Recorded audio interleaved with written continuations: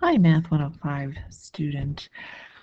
This is a discussion of your exam number one review, the paper review um, that you were assigned before exam one.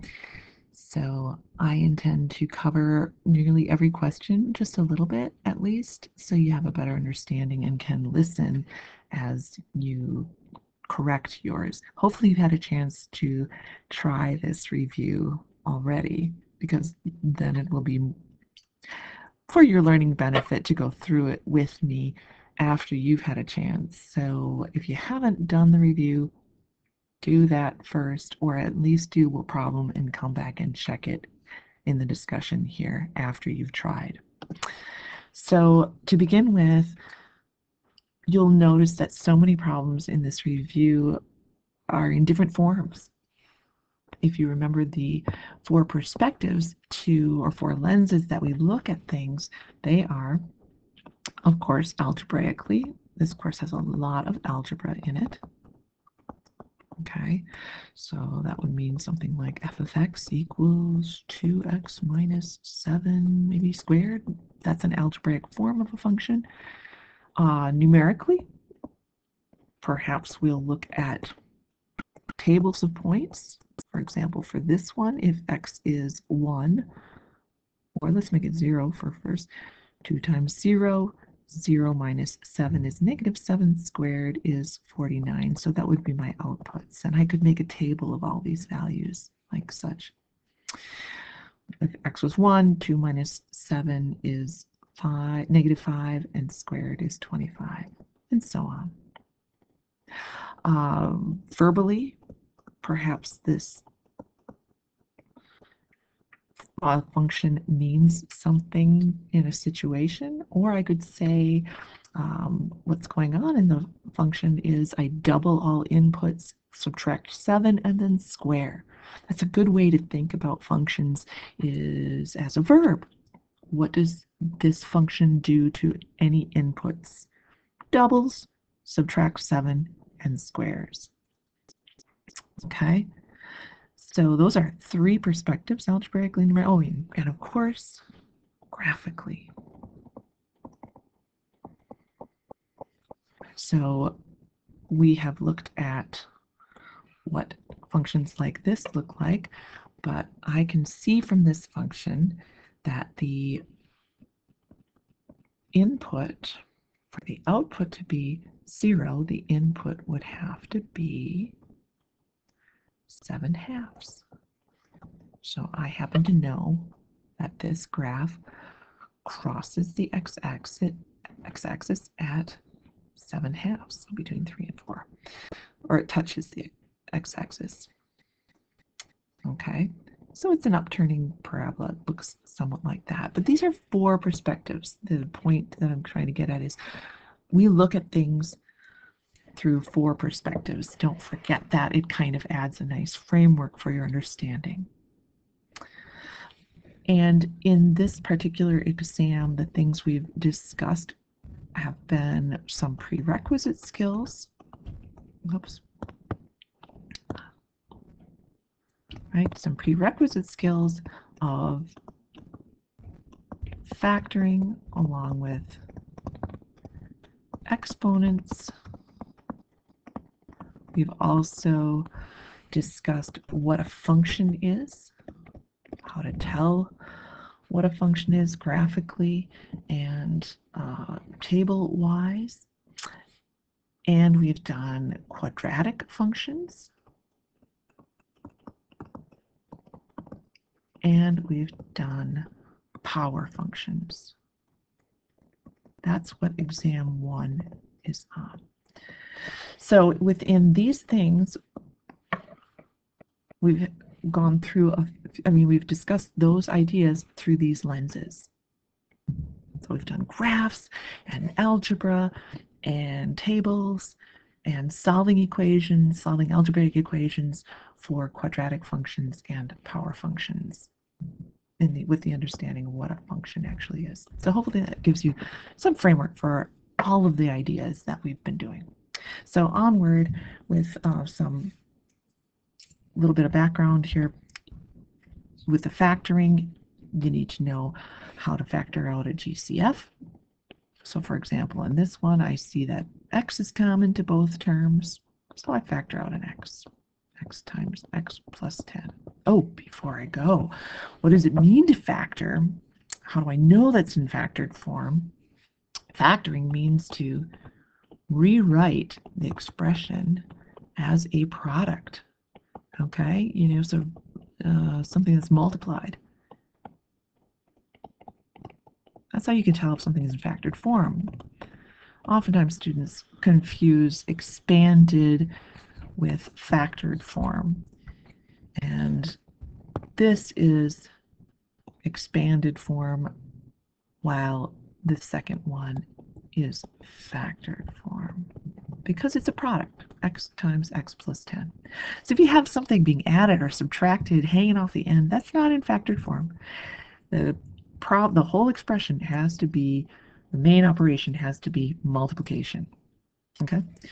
Uh, you need to know how to factor trinomials and trinomials, trinomial squares. So for example, this trinomial, let's see if it is factorable. Remember that the first 2 have to multiply to give me 3x, so I'm going to go 3x and x. The last two have to multiply to give me negative 2, but when I consider the inner and the outer products, they have to, those two products have to add up to give me 5x right there, positive 5x. So I'm going to I'm going to guess and check. I'll probably guess wrong so that you see what happens, but I need a negative 2. So I'm going to put a 2 and a 1 there. And one of them has to be negative, one of them has to be positive. And I notice that my inner product is negative 2x. My outer product is positive 3x. And a negative 2x and a positive 3x do not give me the positive 5x that I need. So maybe it's just a sign change? Well, I'll change my signs. I still need that negative 2. That's my last terms multiplied. 2 times negative 1 has to be negative 2. And still, again, I see the inner product right here. This inner one is positive 2x. The outer is negative 3x. And positive 2x and negative 3x don't give me the 5x that I need.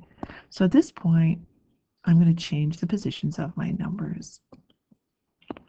And I'm going to put a 2 over here and a 1 over here. And I know they have to be opposite signs, but I also know that they those inner and outer products have to add up to 5x. So I'm going to put a positive here so that I get a positive 6x and a negative 1x. So there's my factorization, and that is now in factored form because it's a product. It's written as a product, 3x minus 1 times x plus 2. Differences of squares, uh, that pattern, if you think about it, is the same as this trinomial. So the inner and the outer terms must cancel each other off when you do that distributing. So I know this pattern is x minus 5, x plus 5 because I have a negative 5x and a positive 5x to give me 0x. So that's how differences of squares are factored. And I'm not going to run through any grouping. Uh, we might hit some in this review. Uh, so I'm going to leave that for now. Exponents know these properties and know them well. They come up repeatedly in Math 105. They're very important. And the best thing that you can do when you tend to forget a property, and you will, is to make up a back pocket example. If I take a cubed times a to the third, remember I could expand it as a times a times a times a, and then reason that I would have to add those exponents. So that's that first prop property of products.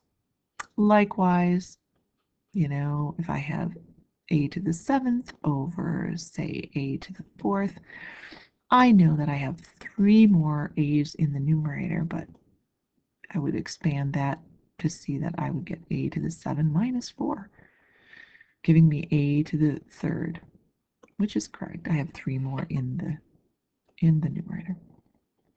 Okay, the exponent does apply to both of the product factors inside.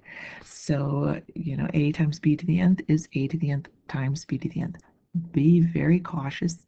An exponent does not distribute over a sum. You cannot do the same thing over a sum. a plus b quantity squared is a plus b times a plus b. And we use distributing of each one in that case. So we get a squared plus ab plus ab is 2ab plus b squared. So you can't do this power over a sum or difference, but you can do it over a, a product on the inside. And same with a quotient. Okay? Anything to the zero power is 1, and the reason for that, again, is because of the previous quotient power. If I have a to the fourth, over a to the fourth. You know that that is 1, but by our quotient property, it's also a to the 4 minus 4. So this shows us that anything to the 0 is also 1. And these last two are ones that students often get confused, the negative exponent versus the fractional exponent. And I keep a back pocket example that you know, uh, a to some power times a to that same power is equal to a. I would know that also the square root of a times the square root of a is a. But what times, or a to what power times a to what power equals a to the first? These two things have to be the same thing. So what plus what gives me 1? And the answer is if they have to be the same power, that thing would be a half, because a half plus a half is 1. And therefore, a to the 1 half has to be the square root of a. So this is a nice, a nice little back pocket example, okay, for remembering fractional exponents. a to the 1 over n is the nth root of a. All right. Negative exponents. You can get those with your quotient property and say a to the fourth over a to the seventh. I know I have three more a's in the, in the denominator. So if I expanded this,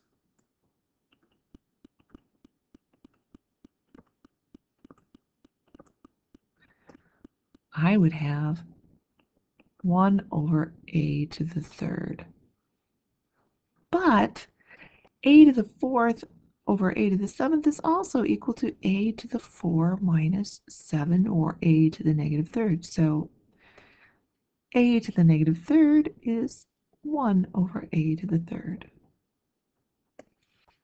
These are ways to reteach yourself some of these properties when they, you know, when you, you go astray a little bit and you forget them, rederive them. Okay? All right. I'm going to pause now and start a second video for the remainder of your exam review problems.